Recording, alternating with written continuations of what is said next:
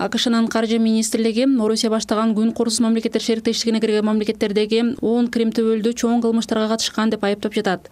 Тизмеде кылмыш дүйнөсүнүн аталыгы атыккан. Коля кыргыз деген кайман аты менен таанымал камчы көлбаев дагы бар кыргызстандын ички иштер министрлиги көлбаев тууралуу соңку маалымат боюнча комментарий бере элек мурунку вице премьер министр абдрахман маматалиев тиешелүү органдар уюшма кылмыш топторду тыкыр көзөмөлдөп турат деген ойдо камчы көлбаев коронавирус мыйзамдагы уру экендигин баардыгы эле билет да биздечи өкмөт деле билет күч органдары деле билет күч органдары укук коргоо органдары тиешелүү иштерди дайым алып барып турушат биринчи жолу эмес экинчи жолу жана башка тизмесине киргизип атат америкалыктар эгер алар атайлап бизге кайрылса биздин күч органдарына укук коргоо органдарына же өкмөттүн дарегине ataylap kayrılıp e, ne güzemesinci verip kızmat taşıga çakırsan da bizdin e, teşeli organlardan da yakşap oluşu mümkün de. Bul jigit e, bilesiňler de sot joguna tartılgan, kamalga oturup çıkkan, özün möhnetini ötep, kamçy kılbar, janından belek tapırsa bizde şunday, kılmış dünesinde bunday e, belgili adamlar var, onlardan barın көзөмөлдөп турат биздин күч органдары карап турушат. Расмий вашингтон буга чейин тактап айтканда эки миң он биринчи жылы камчы көлбаевди дүйнөдөгү эң ири наркобарондордун тизмесине кошкон.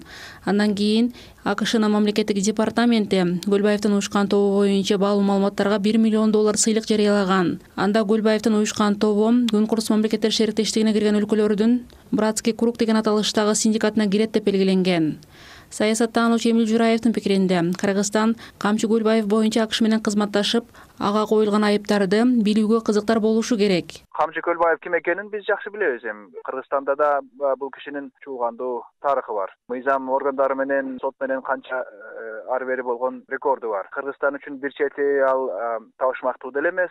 Э, таң каларлык деле эмес. Бирок албетте бул кандай кылмыштардын негизинде тизмеге кирди. Кыргызстанда буга чейин ошол кылмыштар боюнча э, бирдемке болгонбу жокпу бул киши. Ал жагын сурасак жакшы болмок. Анткени э, менин билишимче бул кишинин буга чейинки сот иштери негизи өтө оор же эң эле бир кылмыштын төбөлү катары соттолгонун эстей албай турам. Баңгизат боюнча иш болгон болбогонун билбейт экенм. Кырк үч жаштагы камчы көлбаев эки миң сегизинчи жылы москвада мыйзамдагы уру макамын алып тажи кийгени. Буга бир катар крим төбөлдөр күбө болгону тууралуу маалымат бар. Ал эки миң он экинчи жылы бириккен араб эмиратында кармалып кайра кое берилген ошол жылы кыргызстанга келгенде камакка алынган. Кыргыз милициясы көлбаев өлкөдөгү криминогендик кырдаалга таасир эте аларын айтып чыккан. Атайын кызмат көлбаевди кылмыштуу топ түзгөн курал жана маң зат сактаган бийлик өкүлүнө күч колдонгон адам уурдаган жана киши денесине залал келтирген деген сыяктуу он берене боюнча айыптаккан. Ал эки миң он төртүнчү жылы жайында абактан бошогон жана кайра дубайга кетти деген маалыматтар чыккан. Ички иштер министрлигинде беш жүздөй уюшма кылмыштуу топтун мүчөсү каттоодо турат камчы көлбаев азиз батукаев максат абакиров жана алмаз бокушев түзгөн төрт кылмыштуу топ бар экени расмий айтылган. Уюшма кылмыш топторго байланыштуу доомат былтыр жергиликтүү кеңештерге шайлоодо. Быйыл президенттик шайлоодо да айтылган. Жогорку кеңештеги укук тартиби кылмыштуулук менен күрөш жана коррупцияга каршы аракеттенүү комитетинин мүчөсү социал демократтар фракциясынын депутаты бакыт жетигенов уюшма кылмыштуулукка каршы күрөш дагы мыйзам дагы жетиштүү деп билдирди атпайбы күрөш жакшы болбой атат анан жакшы иштешпей атат чынын айтсам көп эле мыйзамдар бар. Ошол эле мыйзамдарды эле колдонсо эле туура колдонсо ошонун баары натыйжа чыгат. Эгерде ошол адамдар бир кылмыш ишин кылса туура эмес мыйзамга каршы иштерди кылса ошого жараша жооп берет.